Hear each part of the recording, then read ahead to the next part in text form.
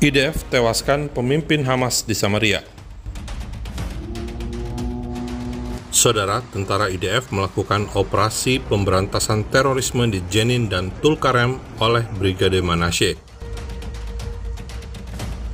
Ini adalah video kegiatan operasi pada tanggal 29 Agustus 2024 tersebut.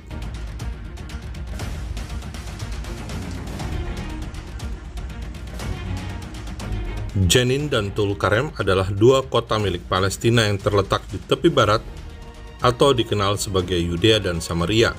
Setelah kesepakatan Oslo tahun 1993, Israel memberikan sejumlah kota kepada Palestina untuk berdamai. Namun yang terjadi adalah wilayah yang diserahkan tersebut malah menjadi basis kelompok teror. Jenin di Samaria kini menjadi basis teroris sarang singa yang isinya genset yang tidak mengerti sejarah konflik Israel dan Palestina. Di Alkitab, Jenin ditulis dalam bahasa Ibrani Ein Ganim, kota warisan untuk suku Isakar.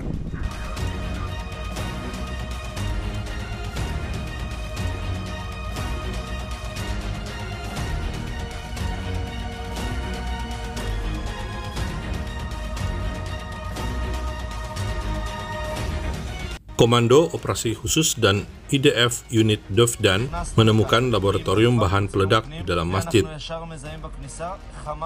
Tampak poster para martir terpampang di dinding masjid. IDF juga menemukan senjata yang digunakan teroris untuk menembaki pasukan IDF. Masjid kerap digunakan oleh militan di Palestina karena mereka tahu Israel akan dikritik habis-habisan jika menyerang rumah ibadah. Inilah strategi militan untuk menjatuhkan Israel. Karena itu, IDF selalu mendokumentasikan kegiatan operasi mereka agar ada rekaman sebagai barang bukti dan untuk pertanggungjawaban publik. Pada hari pertama operasi pemberantasan terorisme, pasukan IDF Shin Bet dan MGB di Jenin dan Tulkarem melumpuhkan 12 teroris.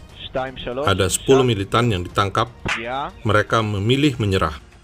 Fakta Israel menduga opsi menyerah dipilih karena mereka bisa dibebaskan oleh Israel jika kesepakatan pertukaran tawanan dengan napi teroris terjadi. Saudara, IDF menemukan lima orang teroris bersembunyi di masjid. Kelimanya dilumpuhkan, termasuk Muhammad Jaber atau dikenal sebagai Abu Sahja'ah, pemimpin kelompok teror di Nur al-Shams. Tentara Israel menghancurkan lusinan muatan yang ditanam di bawah gandar yang berbahaya bagi IDF.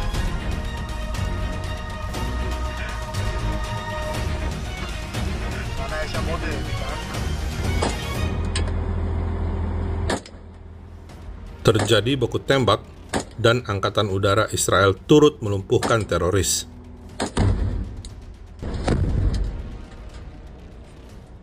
IDF menyita senjata termasuk jenis M16, amunisi, dan peralatan militer lainnya. Operasi pemberantasan teroris di Jenin dan Tulkarem selesai setelah 30 jam. Tujuan operasi adalah menggagalkan kegiatan teror yang direncanakan dilakukan di Israel. Intelijen Israel berhasil mengendus rencana teror tersebut.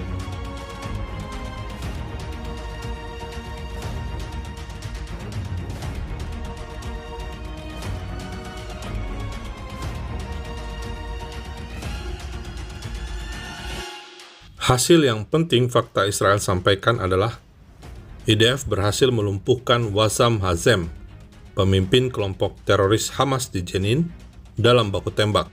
Hazem terlibat dalam kegiatan teror di wilayah Yudea dan Samaria.